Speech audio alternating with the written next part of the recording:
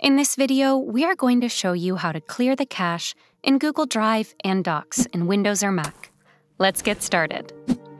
The fastest way to clear the cache in Google Drive or Docs is to first load the web app in Chrome. Next, simply click the padlock-shaped symbol to the upper left corner of the address bar. On the menu that shows up, click Site Settings. Then, you will be taken into a special page within the Chrome Settings panel related to the Drive or Docs web apps. Under the Usage section, click Clear Data.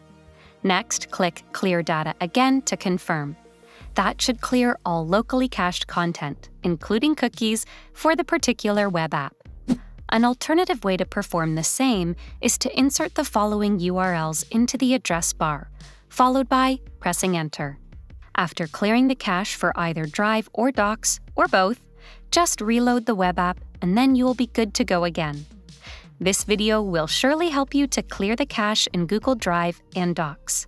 For more tech tips and tricks, subscribe to Guiding Tech and discover one of these videos handpicked just for you.